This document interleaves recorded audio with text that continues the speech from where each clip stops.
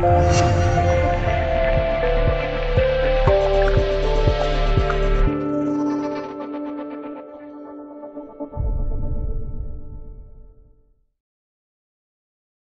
媒称，美国、俄罗斯、中国、阿富汗和印度是外国侵略者几乎无法征服的五个国家。美国 Where is the mighty？军事网站八月十五日撰文称，外国侵略者几乎无法征服美国、俄罗斯、中国、阿富汗和印度这五个国家。文章称，美国拥有全世界最强大的军队，还有全副武装的人民。美国枪支数量多于人口。多州允许居民研制自己的武器，无需强制登记。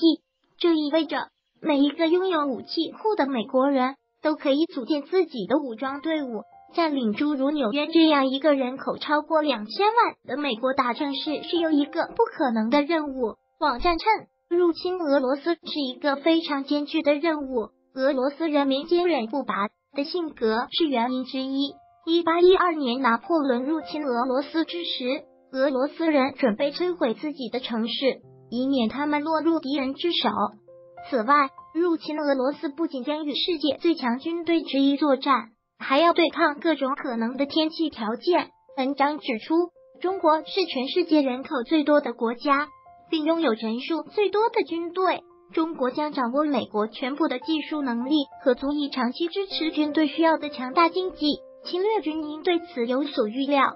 此外，中国的地理状况也是侵略者面临的巨大困难。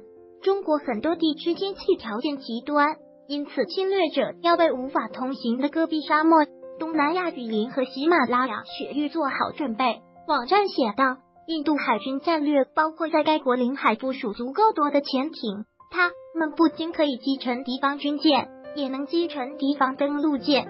此外，印度拥有几乎无限的人力资源。宗教信仰也很强大。印度东北部被险峻的喜马拉雅山脉环绕，西北部一半地区是干旱沙漠，西南部为不利于两栖登陆的潮湿热带气候。文章将阿富汗称为帝国坟场，因为所有试图征服该国的国家都失败了。阿富汗是一片被高山环绕的广袤沙漠，山地地势令侵略者装甲车和坦克的优势化为乌有。几乎无法征服阿富汗的另一个原因是当地复杂的民族和宗教成分，以及他们战斗到底的决心。